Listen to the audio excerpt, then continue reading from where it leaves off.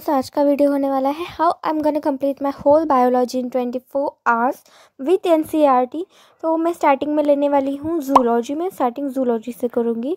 और मैंने ना इस बार सारी की सारी जूलॉजी पढ़ ली थी। और मैंने ना स्टार्टिंग की थी एलेवेंथ से, मैंने एलेवन के जितने भी जूलॉजी के टॉपिक्स है ह्यूमन फिजियोलॉजी ये सब कुछ मैंने पढ़ लिया था और फिर मैं गई थी ट्वेल्थ में, मैंने ऐसे ही किया था, मैंने स्टार्टिंग एलेवेंथ से की थी और फिर मैं ट्वेल्थ की तरफ़ गई थी और मैंने ना पीछे से पढ़ना शुरू किया था क्योंकि आगे से हम ने पढ़ा हुआ होता है तो हम पीछे के पॉइंट्स पीछे तक आते आते ना हम सब कुछ मतलब हमारा कंसंट्रेशन थोड़ा सा लो हो जाता है और पीछे ही ज़्यादा क्वेश्चन होते हैं, पीछे ही ज़्यादा इन्फॉर्मेशन होती है, उसी पे क्वेश्चन आते हैं। तो मैंने पीछे से चैप्टर्स रीड करने स्टार्ट किए थे। जूलॉजी कंप्लीट होने में मुझे सिक्स टू सेवन आवर्स लगे और उसके बाद मैंने पी वाई क्यू शुरू कर दिए। पी वाई क्यू में मुझे ज़्यादा टाइम नहीं लगा, एक से दो घंटा लगा और मैंने सिर्फ़ एन e नहीं पढ़ी। मैंने उसके साथ ही ना आ, मेरे जो नोट्स हैं जो आपके पास नोट्स होते हैं पीडब्ल्यू के मेरे पास पीडब्ल्यू के थे तो मैंने पीडब्ल्यू के पढ़ लिए। तो अब मैं स्टार्ट कर रही हूँ बॉटनी से और बॉटनी का भी मैंने सेम रखा। मैंने पहले एलेवेंथ करी फिर मैंने ट्वेल्थ करी और मैंने वो भी पीछे से स्टार्ट करी थी क्योंकि मुझे बॉटनी को ज़्यादा टाइम लगता है तो मैंने बॉटनी को ज़्यादा टाइम दिया था। मैंने पहले जूलॉजी कर ली थी और बाकी का टाइम मैंने बॉटनी को दिया था। तो उसके बाद ना मैंने क्या किया पीछे सारे एन के टॉपिक्स रीड कर लिए थे और उसके बाद ना मैंने जो अपने नोट्स थे पीडब्ल्यू के ही आ, मैंने बॉटनी प्रेफर की थी तरुण सर से पीडब्ल्यू के जो एक इन टू पॉइंट ओ में है। पर अगर आपने थ्री पॉइंट ओ का भी सब्सक्रिप्शन लिया है तो आपको बैच मिल जाती है दोनों। तो मैंने तरुण सर को प्रेफर किया था बॉटनी को क्योंकि वो बहुत अच्छा पढ़ाते तो उसके बाद ना मैंने सब कुछ पढ़ लिया था जो कुछ भी था मैंने वो लिख लिख के याद कर लिया था क्योंकि उसमें ट्रिक्स होती है एग्ज़ाम्पल ज़्यादा होते हैं। और उसके बाद ना मैंने उसके पी लगाना शुरू कर दिया था बॉटनी के।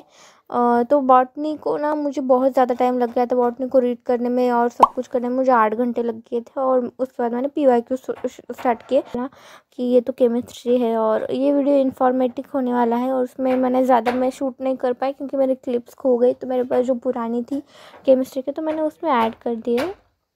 तो उसके बाद ना मैंने बॉटनी और जूलॉजी करने के बाद मैंने बॉटनी के जितने भी पी वाई क्यू थे उतने लगा लिए।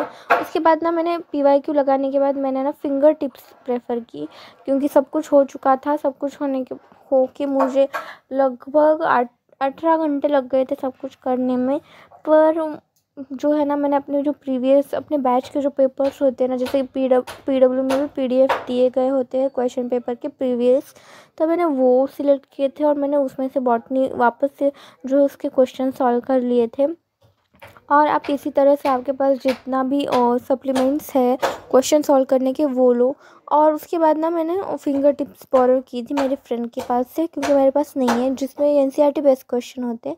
उसमें से आपको ना असरेशन रीजनिंग के क्वेश्चन ज़्यादा करने हैं, क्योंकि आपको पिछला वीडियो पिछला ईयर का जो ट्वेंटी ट्वेंटी टू का पेपर था, वो आपको पता है कि वो पूरा मोस्टली तो उसमें असरेशन और रीजनिंग आती है, और उसमें ही असरेशन और रीजनिंग रीजनिंग में ही जो है ना, ज़्यादा मार्क्स कट होते हैं। तो मैंने असरेशन और रीजनिंग कर लिए थे।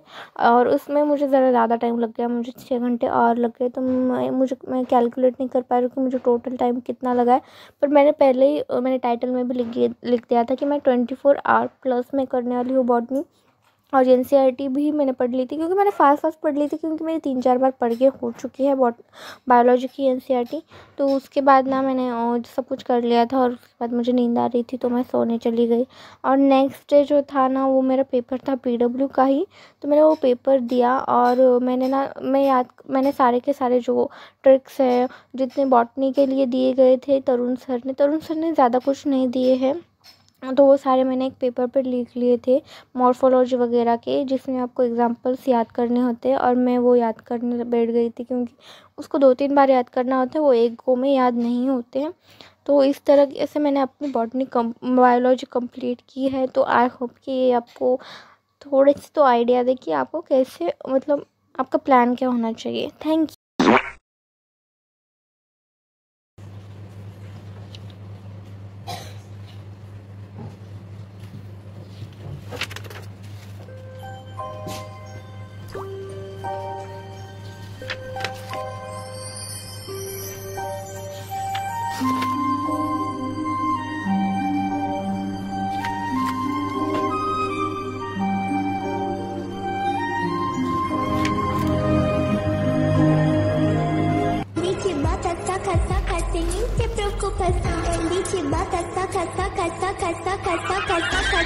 Oh shit.